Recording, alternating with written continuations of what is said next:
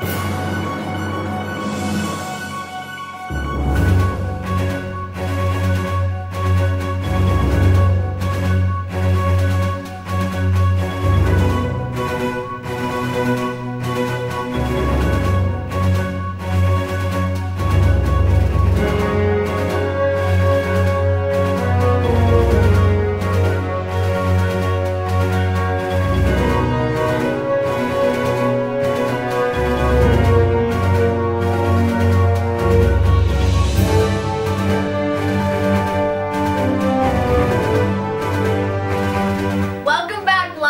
Please stand and join us for the Pledge of Allegiance.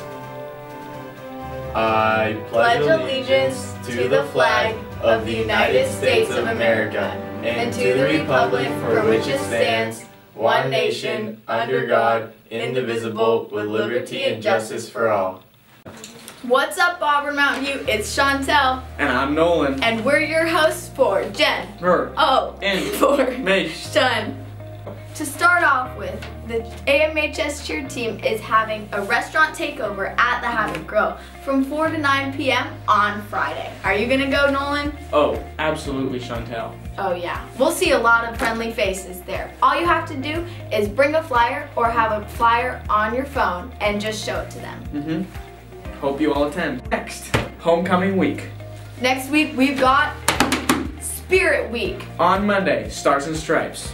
Tuesday is Beachers versus Greasers. Wednesday, Camouflage Day. Thursday is Senior Citizens. And Friday is Color Wars.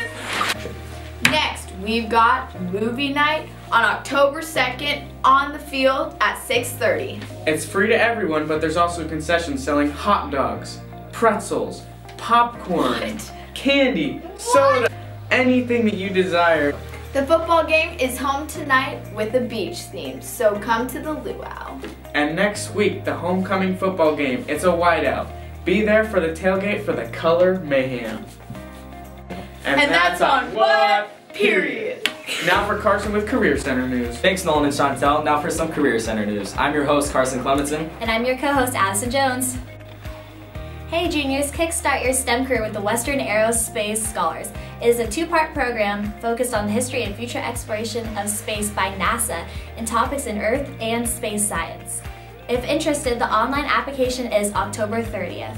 They also have a program for sophomores which will open in December 2019. Stop by the Career Center for more information. Next, we have the following universities coming to the Career Center next week. Pacific Lutheran University, And Eastern Washington University will be here Tuesday next week. also Linfield College, And Abilene Christian University will be here next week on October 2nd. lastly St. Martin's University will be here October 4th. Sign up in the Career Center. And thank you. Next up is sports with Eric and Tone. Good morning. This is AM News. Live from Tone and Eric. This week we will be talking about sports, sports, sports. For Monday, we have boys tennis and boys water polo. Tuesday, we got golf, tennis, volleyball, girls soccer, and girls swim. Wednesday, more water polo. Thursday, same as Tuesday. And Friday, we got our home game, homecoming football game against Kentwood High School. Let's go! Mm. How about the boys tennis team?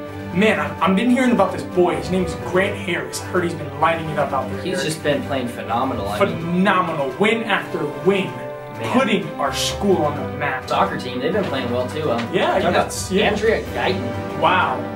Multiple touchdowns in multiple games. She's been putting on a show. Yes, of course.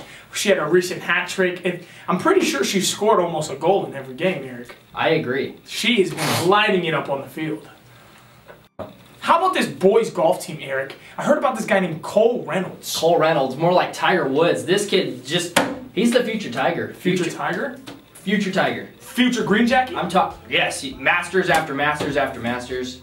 Well then, Eric, we are in for a treat. How about that number five on the football team? You mean Cinnamon the Tiger Tegan Child? Yes. That man has been spectacular on the field for the football team. He's putting up yardage after yardage. He's been giving it his all. 100%. I think we're in for a treat this season, Eric. How about the girls swim team with the first dual meet W? How Just keep swimming, just keep swimming, just keep swimming. And boys water polo. Unfortunately, we lost two close ones. but they're still in it. Keep your heads up. Just keep swimming. Just keep swimming, just keep swimming. Yeah, yeah, yeah.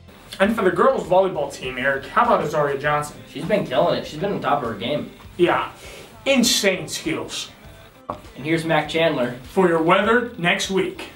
Thanks, Eric and Tone. I'm your weatherman, Mac Chandler, and next week's forecast, as you can see, is 100% Lion Pride for homecoming. Nah, I'm just kidding. But actually, next week's forecast is 100% sunny. And be out there for Wednesday's movie night, and Friday's football game, and then Saturday homecoming.